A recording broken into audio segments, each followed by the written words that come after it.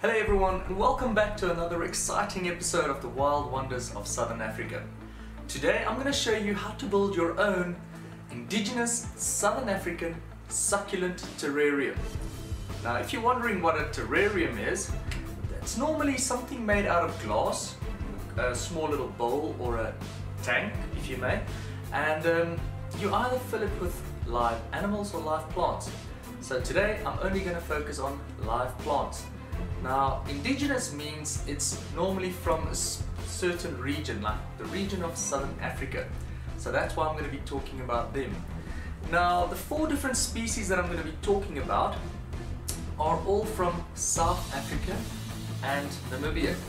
So the more arid areas that we're looking at, they're from those areas.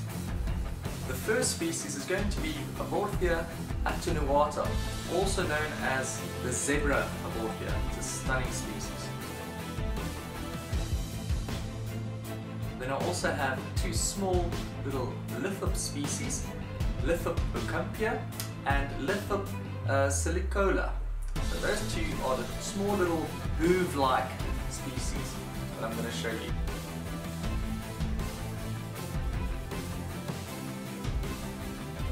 And the fourth species I'm going to show you is called Fenestraria rhopalophylla, also known as baby toads. So those are the four species I'm going to show you today. Because my terrarium is quite small, I don't want to fill it up with more species than that. Enjoy! Right guys, step one is to fill the bottom with crushed stone. The stone that I used in this small little terrarium was crushed granite. Now the granite pieces leaves a lot of gaps in between. The air thus leave areas open for the water to, to fill up so the water does not stay stagnant in the sand, in between the sand, making the, the sand mixture too moist for the succulents. Succulents like dry sand. So that's why we have this drainage line below. Step two is use a rubber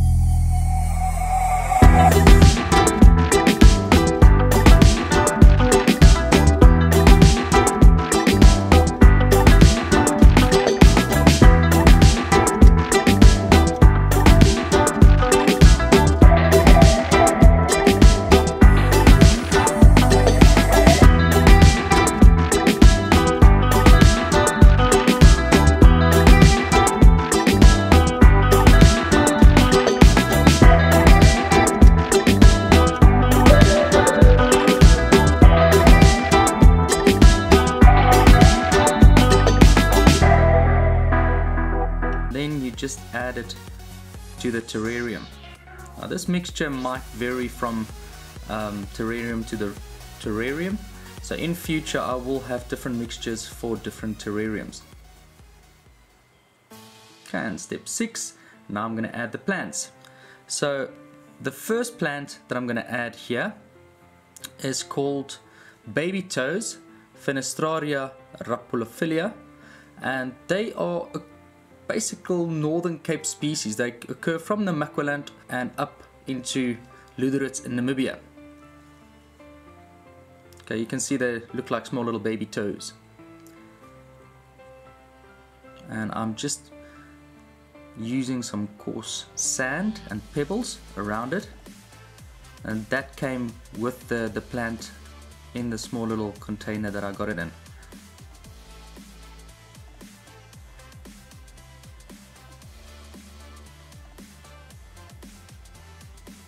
Right, now the second plant or plants that we have here are Lithops species. Now both Lithop aucampiae and Lithop uh, salicola, they both uh, prefer extremely well drained soil and Lithop aucampiae was named after Juanita Aucamp who found a specimen on her father's farm in Postmasburg or in the Northern Cape. That was in 1928.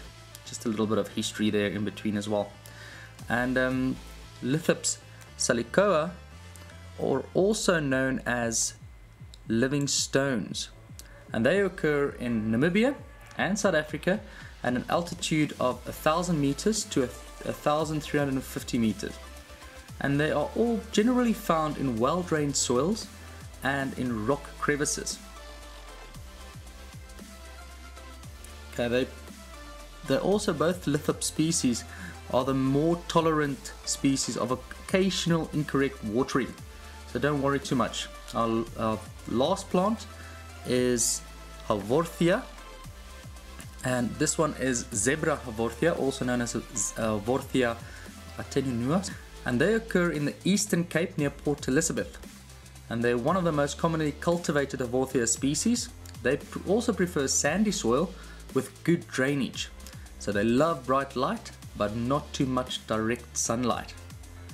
So all four of these species prefer the same type of soil with good drainage and um, nice thick granules, sandy soil.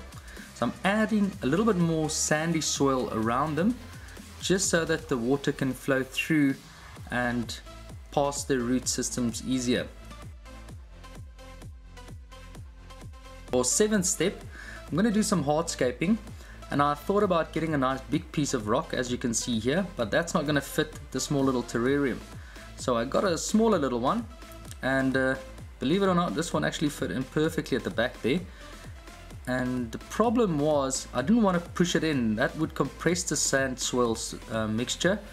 And so I had to dig out a little bit of the sand at the back there and then just fill it up with more sand so that it won't fall over onto the plant but rather just be balanced like it is.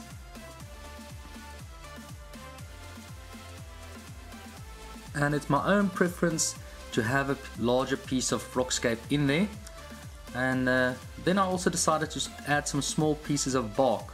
The bark is just a little bit more aesthetical, it looks nicer but now and again, if it's a very hot day, not all of the moisture would evaporate. The last step is to fill all the gaps with extra sand. Now, around the plant there's lots of tiny little gaps that didn't look too nice, so I decided to take some normal sand. This is a finer um, sand particle, just around the, the plants and the terrarium uh, wall or glass. And that makes it look a little bit more professional, nicer and more natural in my opinion. And I added a lot of sand at the back so that the rock could actually lean up against it.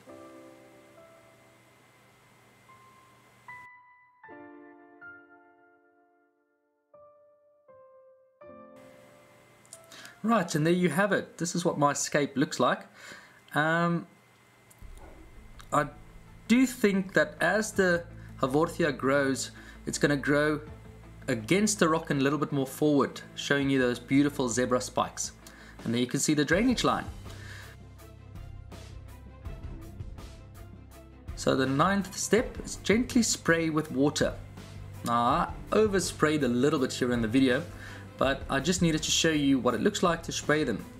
So I won't be spraying at least for another week, maybe week and a half, allowing for the water to evaporate.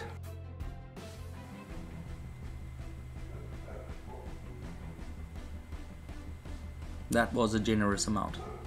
Last step, step 10, Place the terrarium in a bit of sunlight, not direct sunlight though, in a nice sunny spot, but also giving it enough shade. Right guys, now that's as simple as that. 10 easy steps to build your own terrarium. Now, as you know, I do have a competition running, so if you want, you can also enter it. There's a couple more days left for that. Just click on this link over here, and that will enter you automatically. And for the rest of you guys that are on my channel for the first time, click on my face down here. That's gonna subscribe you to my channel. So have a wonderful Sunday guys. Enjoy.